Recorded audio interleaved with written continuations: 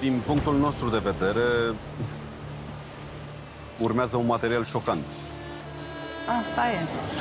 Nu mă mai șochează nimic. Ba da, ba da, ba da, acest material te va șoca, crede-mă. Relațiile de cuplu sunt un parteneriat strategic. Un parteneriat pe termen lung din care fiecare, atât femeia cât și bărbatul, trebuie să câștige ceva. Adică, din experiența mea, de-a lungul sezoanelor, nu am mai văzut așa ceva. Asta e. Un parteneriat în care cei implicați se susțin reciproc, se respectă și se ajută. Mă gândesc că ar șoca pe oricine. Adică, acest material are 8 minute. Am să vă rog să aveți răbdare, să ascultăm împreună ceea ce vom vedea. Apoi, uh, Andreea ne va ajuta să înțelegem, nu? Da. Sunt curioasă Suntem și de eu. acord, da? Da. Dacă vreți, puteți să vă faceți confortabil, să vă luați niște pernițe. Dacă dragostea leagă doi oameni, atunci parteneriatul este cel ideal. Dar dacă dragostea lipsește și pe alte considerente doi oameni aleg să își împartă existența, uniunea lor tot trebuie să beneficieze de avantajele vieții în doi. Hai să vedem acum ce am mai zis. Să vedem, da. Între Gabi și Andreea, dragostea lipsește, însă, dincolo de dragoste, partenerul de trei ani al unui om este responsabil de coordonatele omului cu care a ales conștient să încheie parteneriatul. Toată lumea e confortabilă, da? Da. Bun. Hai să dăm play atunci. Mamă, mamă, ce... Ce ți-am făcut? Ce mă Ce, ce mi-ai făcut, Animal. nemernică? Animal. Ai vrut să-mi vrei să-mi nebună. Nu vreau să te văd Ah, nu, ce frumos e. Deci, E frumos, e frumos. Trebuie să te, uite, să te bucuri de tot ce e aici. Da. Comportamentul lui Gabi, manifestat prin limbaj vulgar, Când simt așa mirosul unei femei, știi, îți vine să o călărești, știi? De la păstii. Mm, Oarecum.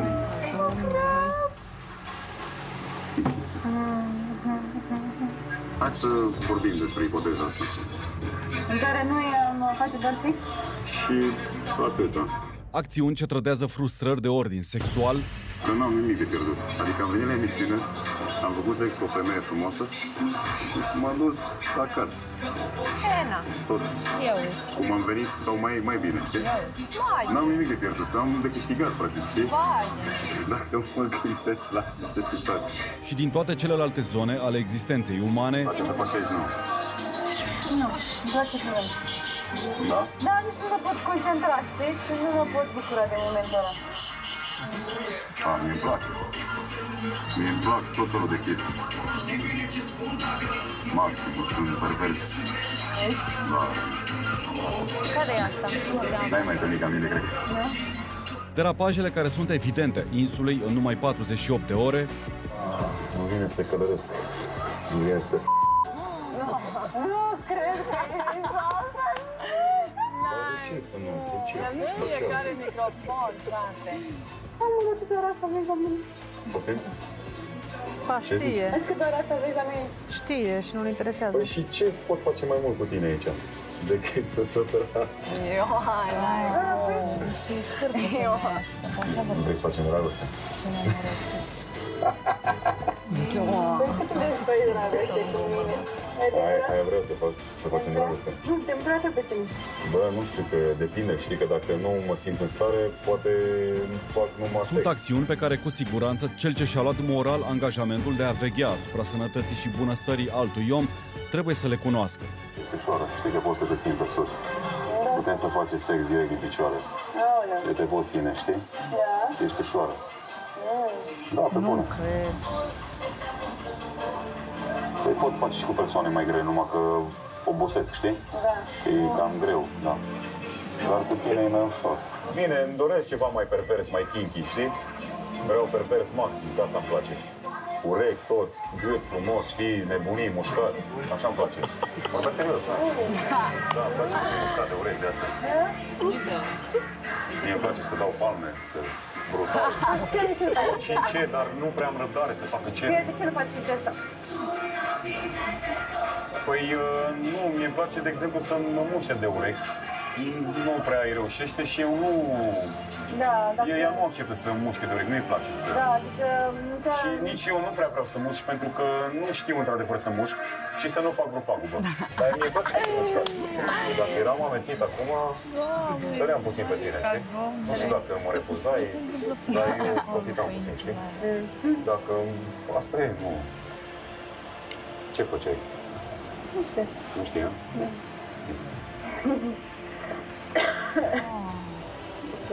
E iurea să încerci ceva să fii refuzat de o femeie, știi?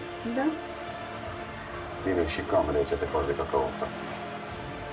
Serios. Deja încerci? Încerci, vezi ce e și aia e. Ce, până la urmă, ce tează. Eu, hai cum vorbește, n-ai cum. Îți dau eu banana. Să-ți bine că sunt Mamă, dar nu vreau să fiu cel mai rapid care pică din spite, știi? Da. Eu nu vreau să fiu catalogat, uite, fraierul știi cel mai... Practic o zi, mă, tu ești nebună. N-ai cum. Are un comportament ciudat. Cred că e aiurea. Eu oricum nu mai sunt cu el. Primul instinct al celei care în urmă cu 48 de ore pretindea că îl iubește este să se lepede de el. Am o întrebare, Andreea. Da. Dar te rog frumos să-mi răspunzi sincer. Da.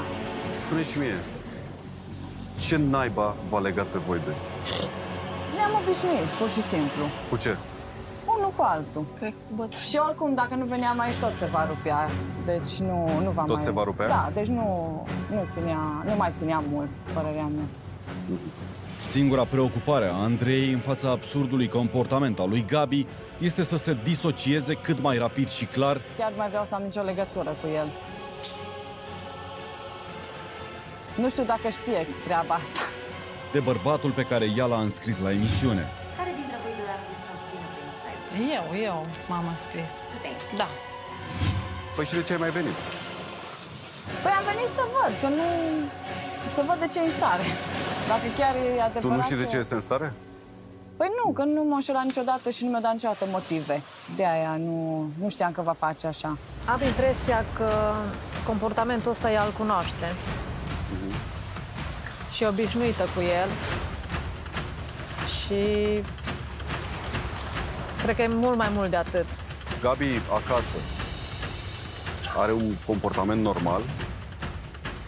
Adică, Mă întreb în general, cum este el acasă?